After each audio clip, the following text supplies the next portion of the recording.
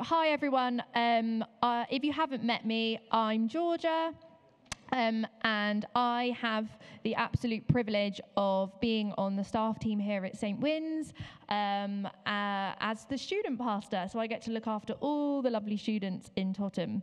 Um, and over the last few weeks, for those of you who have been with us, um, we have been looking at the book of Acts. Um, and John spoke to us last week about stepping out and obeying God, um, which follows on nicely. And this week we're going to be speaking about how do we encounter Jesus. So today we're going to be looking at Acts 9. Um, oh, that's just me on the screen. um, and um, Acts 9 tells the story of Saul, who was a persecutor of Christians. But actually, what the story is about, it's actually about how Saul encounters Jesus in a really dramatic and life changing way. So, the lovely Harry is going to kind of come up and read our passage today. Um, and yeah, then I'll be back.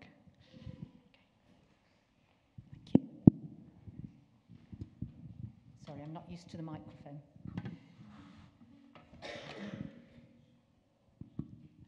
So, from Acts 9. What's wrong? What have I got wrong? Acts 9. Saul's conversion. Meanwhile, Saul was still breathing out murderous threats against the Lord's disciples. He went to the high priest and asked him for letters to the synagogues in Damascus, so that if he found any there who belonged to the way, whether men or women, he might take them as prisoners to Jerusalem. As he neared Damascus on his journey, suddenly a light from heaven flashed around him. He fell to the ground and heard a voice say to him, Saul, Saul, why do you persecute me? Who are you, Lord? Saul asked. I am Jesus, whom you are persecuting, he replied. Now get up and go into the city, and you will be told what you must do. The men traveling with Saul stood there speechless. They heard the sound, but did not see anyone. Saul got up from the ground, but when he opened his eyes, he could see nothing. So they led him by the hand into Damascus. For three days he was blind and did not eat or drink anything. In Damascus there was a disciple named Ananias. The Lord called him in a vision. Ananias. Yes, Lord, he answered. The Lord told him, Go to the house of Judas on Straight Street and ask for a man from Tarsus named Saul, for he is praying. In a vision, he has seen a man named Ananias come and place his hands on him to restore his sight. Lord, Ananias answered, I have heard many reports about this man and all the harm he has done to your holy people in Jerusalem. And he has come here with authority from the chief priests to arrest all who call on your name. But the Lord said to Ananias, Go, this man is my chosen instrument to proclaim my name to the Gentiles and their kings, and to the people of Israel. I will show him how much he has must suffer for my name. Then Ananias went to the house and entered it.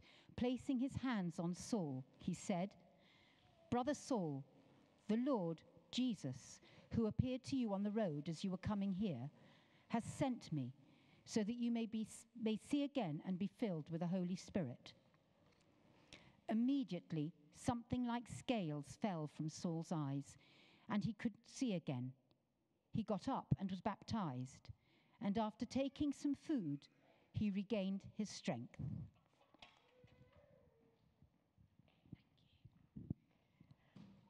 Wow. Um, I just think that is um, such a breathtaking encounter. So for so um, for Saul, who was out there persecuting Christians um, and not being very well behaved, um, Jesus saw him, saw something in him, and still wanted to know him. So I think we can learn a lot from Saul, but also from Ananias in this passage. Um, so, oh, let me just find my place, sorry. Um, if you know Jesus, can you remember where you were when you first encountered him? I know the first time I encountered Jesus, I wasn't in a very good place myself. Um, I probably wasn't going around giving murderous threats like Saul was, but um, I was quite lost. Um, I was quite an anxious person, quite a worrier, um, and I um, didn't really understand at this time why it was that Jesus wanted to encounter me then. But then, as I started to read the Bible, um, I actually came across a verse from a from a different book, the book of Mark, um, that said, it should be coming up on the screen. Um, it's Mark two, verse seventeen. On hearing this, Jesus told them, "It is not the healthy who need a doctor, but the sick. I have not come to call the righteous, but the sinners." Um, and now I kind of get it. That verse really helped me to understand um, that actually I didn't need to look a certain way. I didn't need to act a certain way. I didn't even really need to be that good of a person. Um, uh, Jesus just wanted to know me as I was, um, and he wanted to have an encounter with me. Um, so yeah, I was pretty blind before I knew Jesus, and kind of just like Saul was, really, going around, minding my own business, doing my thing, whatever I thought was the right thing to do. Um, and actually, just like Saul didn't probably realize he was blind, I didn't really either. Um, I, for me, I didn't necessarily think I'm really blind and I'm a really bad person, but it was just a sense of nothing ever being able to really fill me. Um, nothing really had the answer I was looking for. It was like, I don't know if you guys have had it, when um, you're looking for something and there's just something missing, uh, you're not quite happy or how you think um, you should be. And, and I'm a mental health nurse, so I have lots of answers of how to make yourself happy, but there was always something missing. Um, and it was all, almost that kind of like, I'll be happy when this happens, or I'll be happy when that happens. So I was 16 and I was going to college, and I thought, this is it. When I get to college, I'm going to be happy. Got to college, mm, no, nothing really changed. And then I thought, well, it's because I don't drive. So, you know, did my driving lessons, did my driving test, was driving around in my little car. Uh, no, still, still there was just that, that bit missing. And then I thought, wow, all my friends are going on holidays and they seem to be having an amazing time. So maybe, maybe if I go on like five, six holidays a year, like I might finally be happy. And I came back from everyone probably a bit jet lagged and just not overly happy. So very soon came to realize that nothing was going to have that answer that I wanted. Um, and I think um, as a society, we all do this. Um, I think if you, you know, we can all be really blind sometimes. And I mean, look at advertisement companies. They are basically trying to sell us that thing that we think is going to make us happy. So, um, yeah, if you, it's like when you're watching TV, if you just buy this iPhone or if you just go on this holiday, you know, you will have made it and you'll be super, super happy. Um, I even, you know, I've been brainwashed as well. I um, there's like a chicken dipper advert on TV. I don't know if anyone's seen it. And there's like a family, and they're all sat round, and they're like all smiling, really happy. And I think at the end it says something like, "This will make your family dinners" or something like that. And like. I wanted to go out and buy a, bu- a bag of chicken dippers, and I'm a vegetarian, so like, I mean, they're obviously doing something right, trying to sell me this this this perfect family dinner setup. Um, but on a more serious note, um, I do remember the first time I encountered Jesus. Um, and as we said earlier, um, it was through a friend inviting me to Alpha um, that I, I, went to Alpha and had an amazing time. Wouldn't necessarily say I noticed that I'd encountered Jesus there, um, but then encountered Jesus in a really, really dramatic way um, when I was at a Sunday service in the morning. Um, it was like a sense of peace just washing over me. And it was, I knew it was Jesus because it was, it was like that thing that I was trying to fill with everything else had been filled, and I was like, "Well, I've spent a lot of money on this. Like, why couldn't you come come along a little bit sooner?" But um, it was, nonetheless, it was amazing, um, and so amazing that I then went back to the evening service at church, and then I was like reading my Bible for like ten hours straight a day, and was like super super excited. I can tell you, I don't do that now. Um, but yeah, it was like a really really dramatic encounter and just really, really amazing. Um, and everyone experiences Jesus differently. So just because mine was in a dramatic way doesn't mean everyone's is. Um, so yeah. Um, and I really think that in the passage, when Saul is blind for, oh, I think it's like three days, but I can't remember, but however many days, um, I think that is really given as a clear image to us of everybody who is separated from Jesus. Um, and there are primar- pr- pr- primarily two forms of spiritual blindness. Um, so, the first is I, I, don't know why I look up there because it's it's not there. Um, the first the first form of blindness um, is irreligious blindness. So this is where we believe that our way is better than God's way. So this is kind of like my blindness that I described. So before I knew Jesus, I just thought that I had the answers to life, I had the answers to my happiness, I had all the answers. I will still tell my husband that I have all the answers because I do. um, but actually, the Bible calls that sin. So, the, what is the middle letter of sin? I. So it's I have the answers. I would rather be in charge of my life. Um, because I probably know better than Jesus. I probably know better than God. Um, and that sin can look different for different people. So for Saul, it looked like going around murderously threatening people um, and being super, super nasty.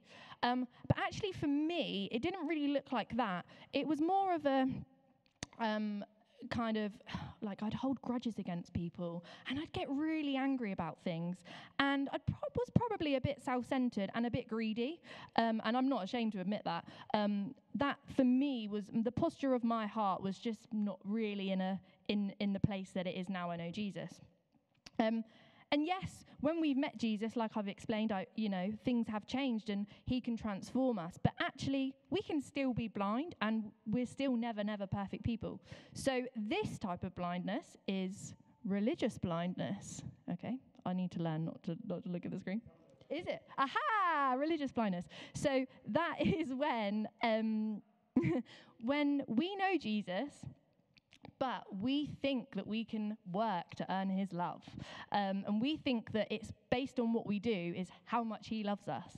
Um, and I'm, again, not afraid to admit, I do fall into that trap sometimes. Um, and actually, we have to remember that actually it's through grace that we meet Jesus. It's not through what we do or how perfect we are. Um, and Saul encountered the grace of God in a very dramatic way because he wasn't doing anything to work for Jesus' love. He was almost doing the complete opposite. He w- couldn't be further from Jesus. Um, so um, I think really that is proof that, you know, we can't work to earn the love of Jesus. And oh, I've lost my place again. Sometimes, even when we've met the living God, we become blind and need to, um, to rely on those around us. So I know there's been times that my faith has really dwindled, mainly when this religious blindness comes in. Um, and I, I feel far away from God. And I know that I then have to rely on those around me. So, really good friends, my work colleagues, my husband, I have to rely on them to help me see Jesus again. Um, and this is really just like Ananias did in the story that we listened to. Because um, Saul encounters Jesus firstly directly, then he becomes blind, and then he has to rely on Ananias to um, help him to see Jesus again and help him to have an encounter with Jesus. Um, and we know that when it says he was blind, but then he could see. Um, talking about blindness um, and needing some help from other people, uh, last week I got a letter through the post, which I expect probably like 70% of you here get yearly from Specsavers saying, You are due your annual eye test. And um, I read it and I thought, Oh gosh, I've got a really busy few months. I've got some glasses already. Like, I probably don't need to go. Ripped up, put it in the bin. Later that night, got a really bad migraine. And I was like, Oh, maybe I need to go for that eye test because in the past, when I've had headaches, um, it's usually because my glasses are a bit out of date or I'm not wearing them. Um, so, uh, why am I telling you this? Uh, because this actually is sometimes what I can get like in my relationship with Jesus. Bear with me. Um, so, when I first got glasses and I was in, I was probably about 14, 15, they were really cool. Wore them to school every day. Yeah, everyone, I need glasses now. Yeah, I know I look really cool. And I would wear them all the time. And I'd be really excited because I had these really cool glasses. I think they were like, they're actually really ugly glasses. I think they were like red and square and probably weren't the ones that were meant to suit me. But anyway, um, so and, and really, that is just like when I first met Jesus. I was so excited. I went back to church that night. Everything that was going on at church, I just wanted to encounter him. I wanted people to pray for me every time. At the end of a service, they'd say, Anyone who wants to come up for prayer, I was there, I was at the front. I just wanted to encounter Jesus, and I was so, so excited. But just like my eye test, as time's gone on, the excitement and that initial buzz has worn off a little bit. And at times, like I ignored my eye test, I think I can ignore Jesus. And I think we probably all can.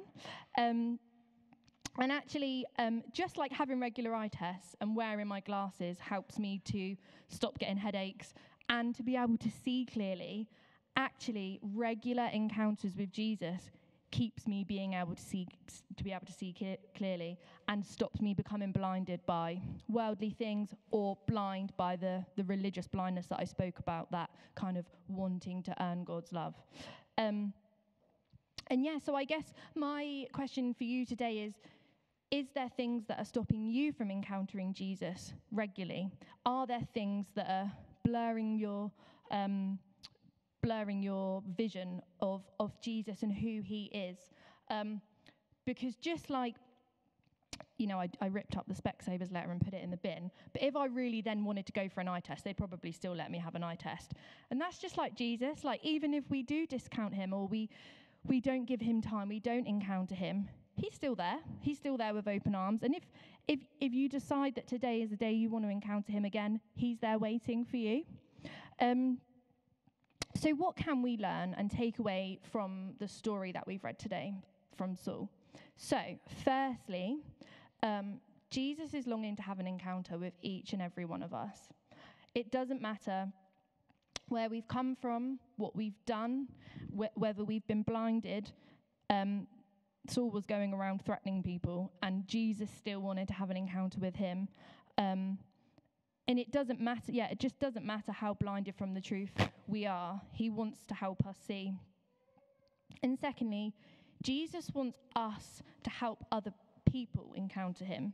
So Saul first encountered Jesus directly, but the second time he encountered Jesus was through Ananias. And Ananias helped Saul to see again and be filled with the Holy Spirit. And as Christians, Jesus calls us to help others see the Holy Spirit. And actually, he instructs us to be non judgmental. So when we look at the story, um, Ananias raises concerns to Jesus and says, You know, I've heard about this man. He's awful. Like, he's been doing all this, this bad stuff. And you want me to go to him and, and help him encounter you? And Jesus says, uh, Yeah, yeah, I do. And, and he doesn't change his instruction. And Ananias faithfully serves Jesus and, and goes and does what he's instructed to do. And, and, and that's not just for Ananias, that's for all of us. You know, it's really, it's really easy to love lovely people. And I know John touched on this last week. Um, but actually, is, are there people in your lives that, that Jesus is putting on your heart that you think, oh, not sure about them? You know, they, they, they did this a couple of months ago, or they did this, and I didn't really agree with that. Uh, are there people that, are, you know, being put on your heart that maybe isn't easy for you to go and have an encounter with? so, how can we encounter Jesus for ourselves and for other people today? So, I've got two top tips, and they're pretty mm, obvious or not that, you know, um, they are. I wish I had something like I've got two top tips and they're amazing and they're like something that I've only thought of, but they're not. They're just really simple. And the first one is pray. Pray and ask to encounter Jesus today. You know, we the the we often are blinded, um, as I said, by thinking we have to be a certain way or act a certain way or be in a certain position to be able to pray and receive Jesus' love. But He just wants us as we are. If we're having a really bad day and we're angry at God, He still wants to hear about that. You know, you don't have to be in a, a really, really good place um, to be able to pray and, and reach out and encounter Jesus. So that's how we can encounter Him for ourselves. So just pray and reach out. And then how can we enc- help others encounter Him? It's, it's uh, you probably might be able to predict what I'm going to say. Pray for others to encounter Jesus. So that involves a lot, actually. Um, that involves seeing other people through Jesus' eyes, and that's not always that easy to do. So, what that means is we have to practice forgiveness a lot, um, and we have to pray for other people. Um, and and also what that involves, as I said earlier, is listening to the call that Jesus is putting on your heart for people. So if you do find that, I don't know, someone down the road, one of your neighbours, you're, you're seeing them a bit more frequently, or you're, they're, they're popping up in your thoughts a bit more, like press into that and pray and say, you know, God, are you putting on this person on my in my mind for a reason? Yes, okay, maybe they might have done this or that, or you know, we're not that close, or but actually, you know, listen to God. He may be doing that for a reason, and, and that person might really need need your prayers. Um, so um, that's my two top tips. Um, and yes, they are top tips, but actually, I think the key point to remember is God is sovereign over everything. And I can give you tips, but actually, um, God God is, is over this all. And, and yes, we can pray for other people, we can pray for ourselves, but, but actually, God doesn't need us to do that. Um, if like he did with Saul, you know, Saul was completely blind. He didn't know God. He didn't even know he was blind, and God still came in and just stepped in. So um, I just, you know, praying for other people and praying for ourselves is is is all we is what we can do to encounter Jesus, but actually God's God's got it in His hands as well. Um, and just on the final point, really, while I'm talking about praying for others, we had an amazing worship night on Monday. Um, for those of you who are there, it, you'll know how good and you know Jesus was here, and so many people encountered Him. Um, and Dan did um, an amazing talk at the front where um, he, him and Gina, I don't actually know where Gina is. Well, she's probably gone out. they, um, they spoke about actually how do we pray for other people and how do we do that really well. Um, so, for anyone who wasn't there, I'd really encourage you to go back and have a little look at that on YouTube because I could stand here and then say, How do we pray for other people? But Dan has already done it and aced it. So, um, yeah, we just, as a church, had a, an amazing evening, and um, yeah, it, it, was just, I really wanted to mention that. Um, so now I would love to invite Anna back up to um, lead us in some worship. And um, if you've never encountered Jesus, or if you have, but you haven't for a while, my encouragement for you today, whilst we go into this time of worship and prayer, would be to just open yourself up and welcome him, in and say, Jesus, like, I, I'm here and I want to have an encounter with you. Um, and after Anna's done her first song, Dan and myself are going to come up and we've got some um, words of encouragement that during our prayer time as a staff team this morning um, came up. So we're going to share some of those and we're going to lead in a time of prayer and then we'll do one, one final song um, to close the service. So, yeah, I'd invite you to stand so we can worship and then we'll pray. Thank you.